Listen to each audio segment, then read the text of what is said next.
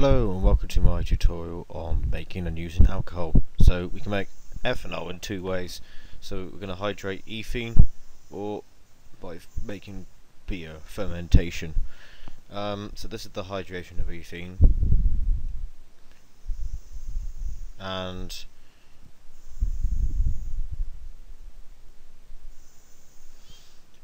we just get ethene and a bit of water and lots of um, phosphoric acid and we put it at high temperature and pressures. Don't need to remember that those reaction conditions. And you make C3 CH3 CH2OH make a liquid.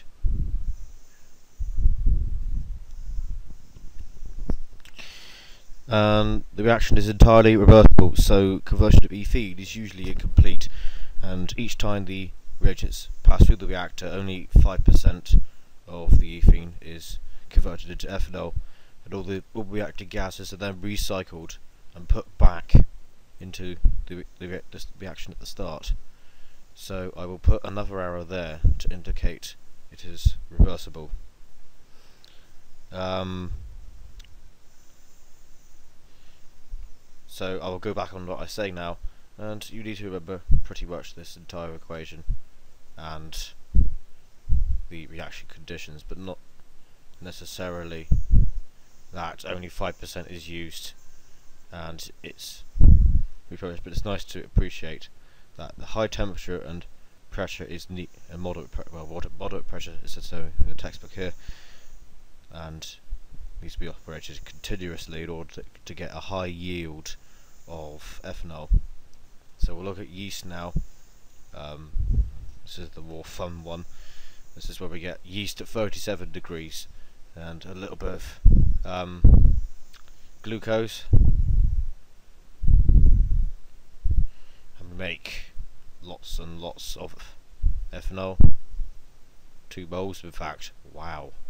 And as the result of the yeast uh, respiring, breathing, we make a bit of carbon dioxide as well. That's why you get the bubbles in your beer.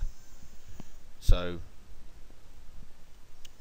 the fermentation of carbohydrates, which is this glucose, it's anaerobic, so it doesn't require oxygen.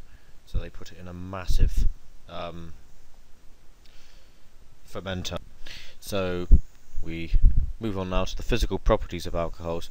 So quick definition, proper definition now. Volatility, volatility is the ease that a liquid turns into a gas. Volatility increases as the boiling point decreases.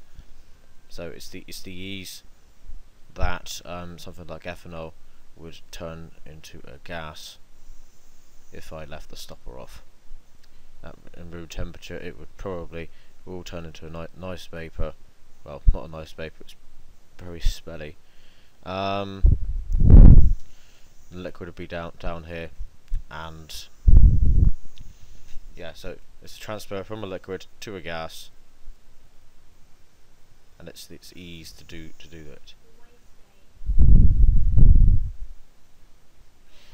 And we can name an alcohol like this. This is a primary alcohol. It has one carbon atom before the OH group here, the important part to name it. So we call it methanol as it's got one carbon in its carbon chain.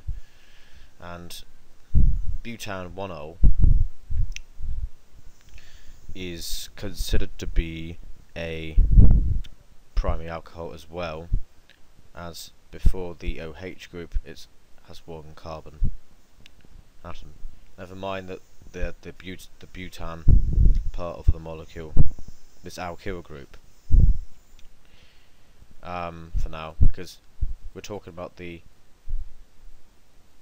fact that this carbon atom is attached to this alkyl group and the primary alcohol has only one of these on its chain. So alcohols are soluble in water and alcohol molecules form a hydrogen bond. Now this is the slight attraction between oxygen's lone pair and hydrogen. So it brings about a slightly um, higher boiling point than normal. Solubility decreases with the larger part of the alcohol molecule. It's made up of non-polar hydrocarbon chains like this one, or the hydrocarbon chain does not form hydrogen bonds with water molecules, so these two are linked because they do not form hydrogen bonds with water molecules. They're, they are not um, so soluble in water. So now we'll move on to looking at secondary alcohols. So this secondary alcohol has got two carbon atoms attached this pro propan 2 ol. I will just adjust my diagram as two CH3 groups are attached to this and secondary because there's two of two carbon atoms bonded to the main uh, carbon atom with the OH group on it. And tertiary alcohols have three carbon atoms bonded to the main carbon chain. So prime tertiary three of them. Secondary there's two and primary there is only one with methanol.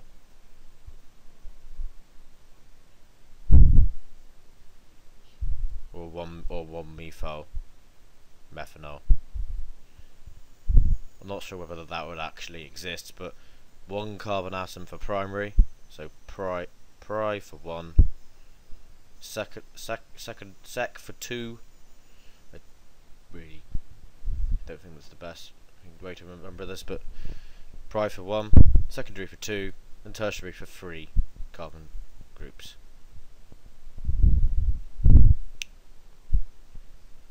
So you're looking for CH3 groups or longer chains like um, my but my but butanol or butane here rather. Sorry, butane here. And we'll just go for some questions now. So we're going to have to go at naming these and drawing the structures, but I recommend you to draw the structures first because it's a load easier trying to name them if you can see them. So I'll give you a few seconds to pause and come back when you think you're ready. So I'll just draw this one out. CH3, CH2, CH2, OH. So OH is here.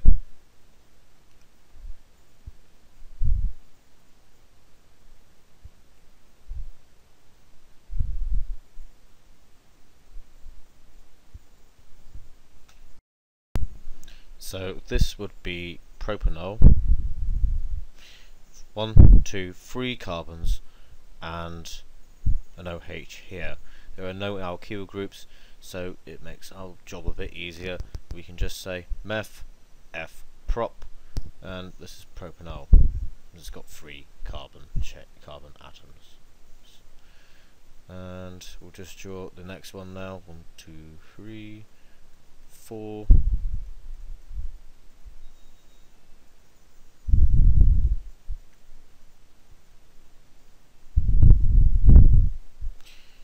for this part, I'm reading that it has one hydrogen atom and then bonded to that carbon at this carbon atom, the third one, we have an OH, an OH group.